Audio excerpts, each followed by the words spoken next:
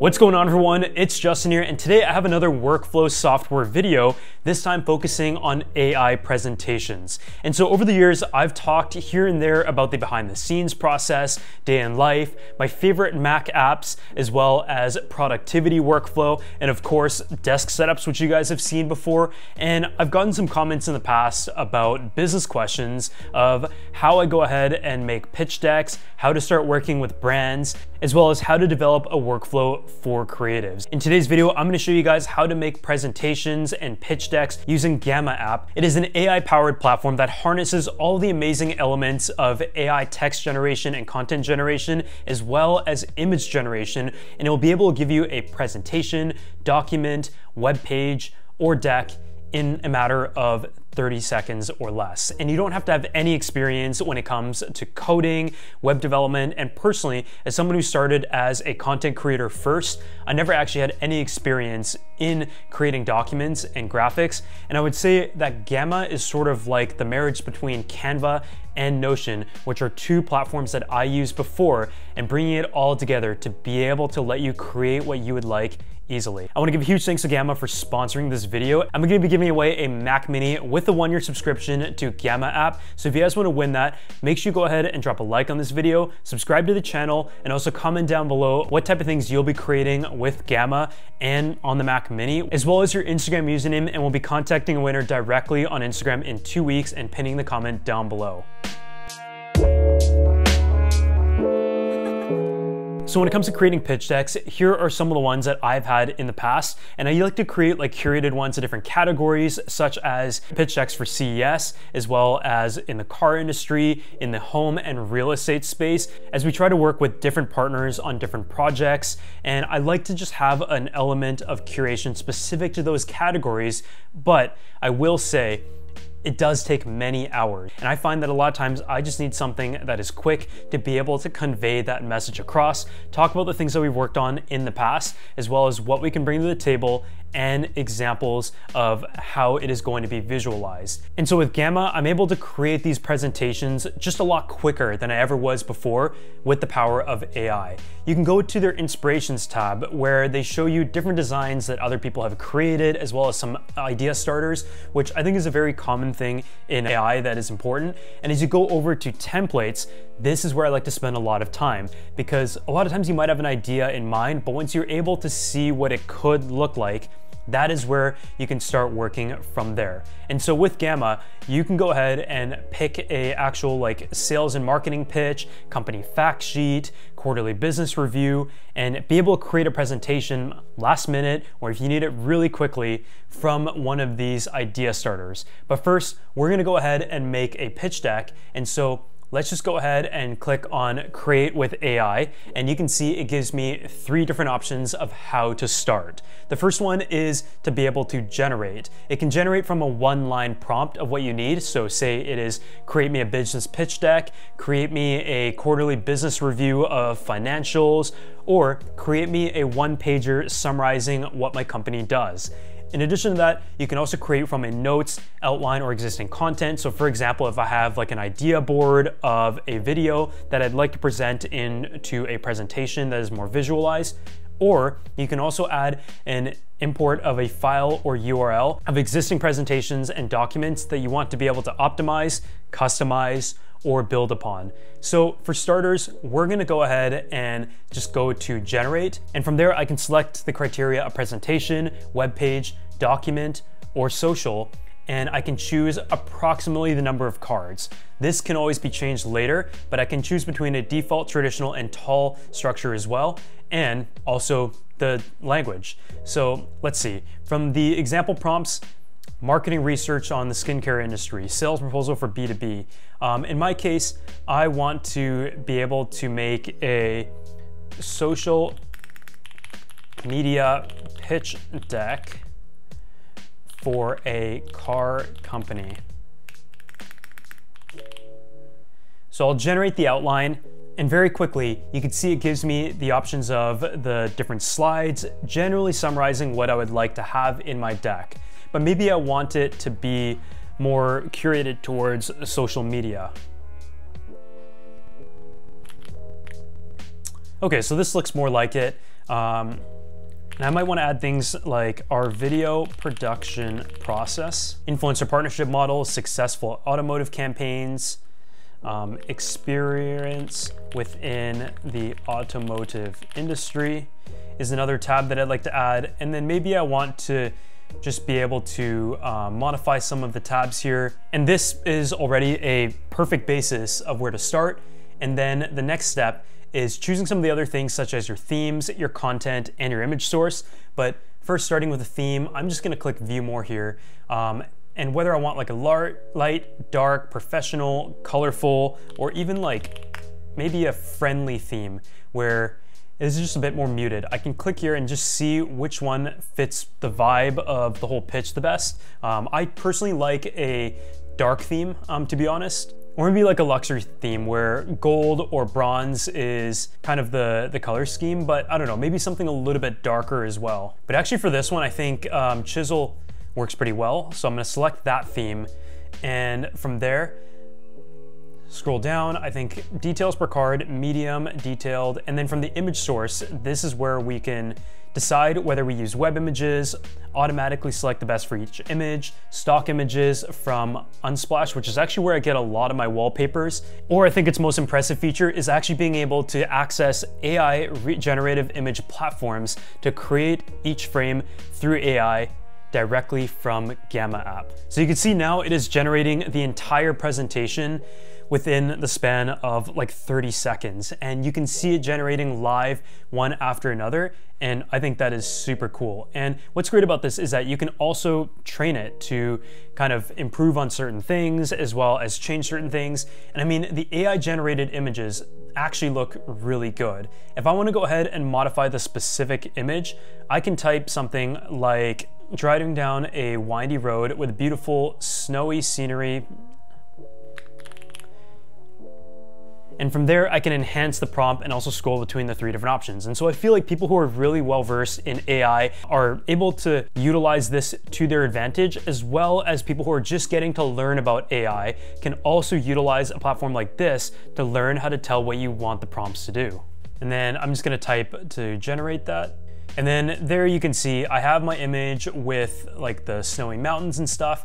And I think actually this is a good generation. So from there, I have the style, light colors, neutrals, brown and beige.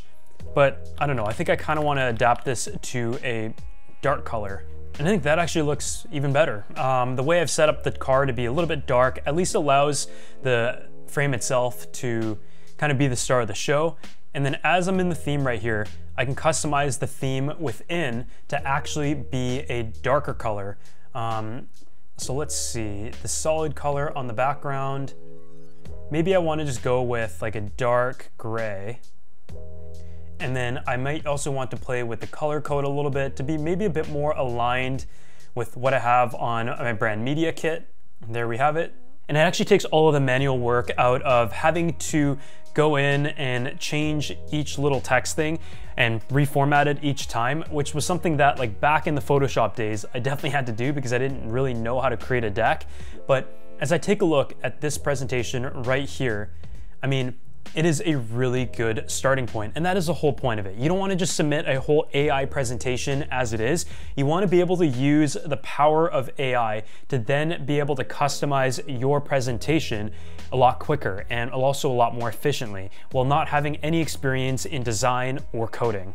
So maybe in this case, I want to go ahead and add my own image. So I'll just click to upload. I have my little folder right here with some of the past car work and let me see, a horizontal frame I think is going to be the best. Okay, so now I've added my own photo for this frame. We have like all the case studies and from there I can actually add my own information. So on this slide specifically, there is a little AI edit button. So I can improve the writing, fix the spelling and grammar, translate, make it longer, make it shorter, simplify, be more specific, and I can also change the layout by clicking on the little card styling button on the top and that allows me to really play with the type of image backdrop and layout that I would like. And to go ahead and add new cards, just click the prompts on the right side and it'll have blank card, image text, columns, and all this kind of stuff. It gives you a lot of options. And what I also like is if you have like a more technical pitch to make, you can actually go through all of the different charts and add specific information based on that.